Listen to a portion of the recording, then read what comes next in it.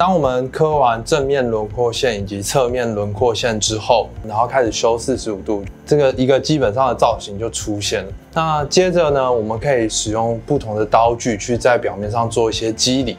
呃，这个肌理的选择其实跟最初介绍这个刀型呢是有很大的差别。呃，首先是使用这个尾曲可以做出的刀痕，它会比较像是一个呃圆润饱满的一个造型的刀痕。然后这样刻过去，一样呢是顺着一个顺纹的一个状况去刻，就是从这个一条一条维管束的线往点的地方刻，往点的地方刻，它就会是一个顺纹。那这样修饰出来的刀痕呢，就会比较会有光泽，然后不会直接整块崩下来，让你不能控制你要刻到哪里。所以顺纹刻其实是一个。顺逆纹的分别是在木雕创作时很重要的一个环节。这边呢，刻出来就大概是一个平面的尾曲刀会做出来的一个刀痕修饰。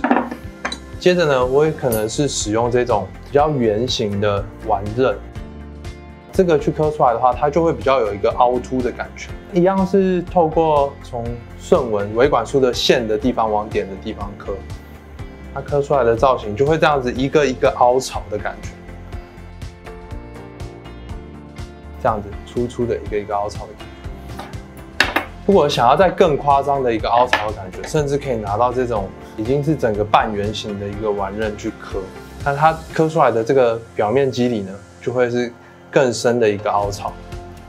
那也不一定一定要这种很短的样式，我也可以做一些比较长的长的肌理的表现。可能就是从这样子画刻上去，一路刻到顶端。先刻一个三条，让大家看一下效果。OK，大致上是可能有这几种，那当然也有分不同的刀型的大与小的差别，那刻出来的那个肌理造型就不一样。呃，再呃反复的重复一次，这边这样的刀痕的造型可能是用这种尾曲啊，或者是平刀去做。它就会是一个比较光滑、比较圆润的一个造型。它中间这个呢，就是以这种很深的这种弯刀，然后去刻，它就会有另一种肌理的感觉，一丝一丝的肌理的感觉。那最旁边这种一个一个凹槽的呢，就是用这种中型、比较中型的丸刃去刻，然后一个一个点去刻，它就会有另一种肌理的感觉。至于要选哪一种肌理呢，其实就是因人所好，然后也是你在创作时有不同表现力的地方。在完成这个表面的刀痕修饰以后，我们可能可以使用一些木雕上面的一种着色，让它表现得更生动。然后在颜色的选择上，我也会使用比较多的一些层次，然后试着去把它变得更生动、更立体。然后同时，上色的厚度其实也会影响到这个木纹的呈现。像以目前这个为例，其实我觉得它木纹蛮好看，所以我可能会上的相对比较薄一点，然后让它木纹同时也可以呈现这样子。对，那我今天使用的是亚克力颜料，然后它是水溶性的，所以可以沾一些水，然后调一些颜色出来。呃，因为想要上薄一点嘛，所以我可能会多加一些水，让它的这个颜色可以比较淡一点。然后层次的话，我可能会用堆叠的，就是先上一层颜色，然后接着再叠下一层颜色，这样它的层次就会渐渐显现出来。那么如果我加了多一些水的话，木头的纹路会保留在这个作品上面。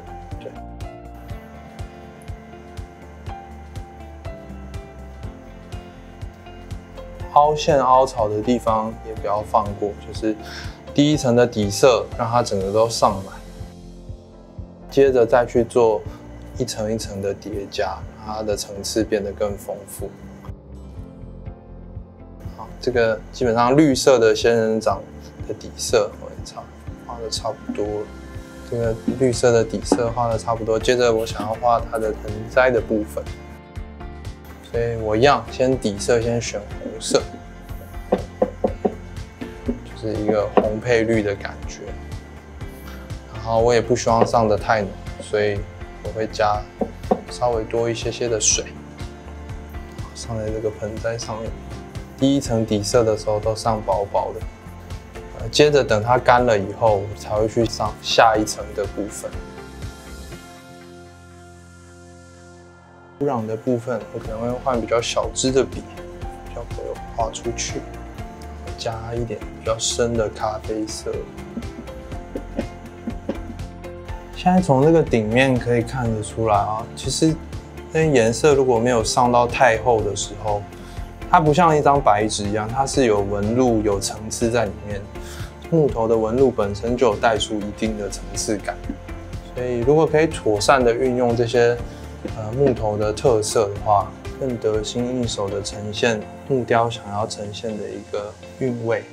这个画细节的地方，嗯，就会比较小心，用比较小支的笔。尽量不要涂到这个仙人掌的本体，交界的地方可以比较鲜明一点。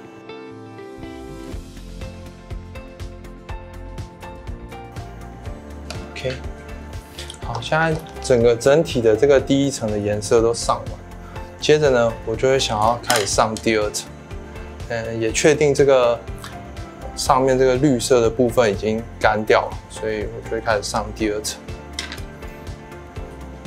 那第二层我会想要使用一些比较不一样的颜色，呃，可能黄色多加一些绿色吧，比较黄一点的绿色，好，用这种比较偏有一点荧光感的绿色去做一个层次的变化。那在这这里层次变化的时候，我可能稍微会用浓一点，然后去做一些。呃，可能是点缀啊，或是线条的方式去呈现这个造型。从这边就可以看出来，我上的第二层的这个线条，它跟底色的那个绿色已经开始有一些层次上的变化。层次再多一点，它其实会变得更丰富。也可以同时使用一些包含像线条啊，或是点状的方式去呈现，包含像是笔触或者是颜色的浓淡，都可以带出。不同的层次效果。这一层颜色，我希望它的浓度可以比较高。如果觉得颜料的浓度变淡的时候，我就会赶快再重新加一些颜料进去。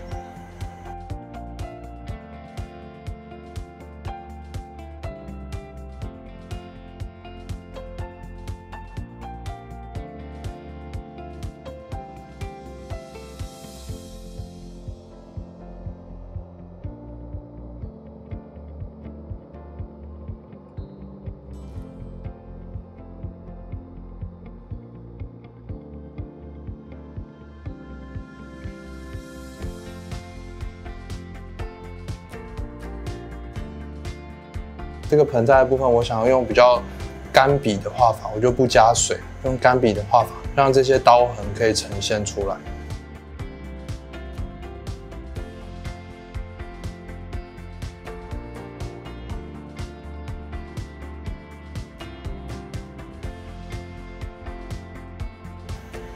同时可以加一点跟上面接近的黄色进去，让它整体比较一致的融合的感觉。这一面差不多以后，上面的仙人掌刚刚第二层也差不多干了，那我可能用第三层。第三层我想选择一些算是地府泥蓝吧，加一些细节在里面。那我这次就已经用到很浓的一个状况，它的细节会比较容易呈现出来。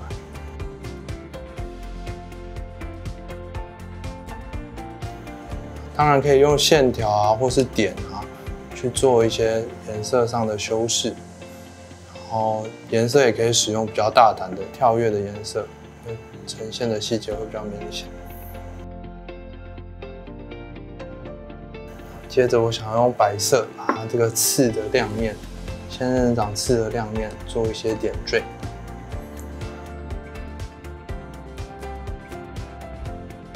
就会显得更明显。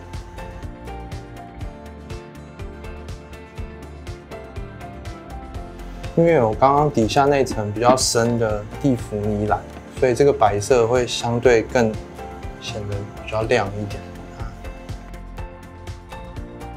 我现在觉得它底下的盆栽浓度不太够，所以我想要加一些比较鲜艳的颜色进去。那一样用干刷的方式，让这个刀痕可以呈现出来。用一点不同的颜色去刷，它感觉比较多层次。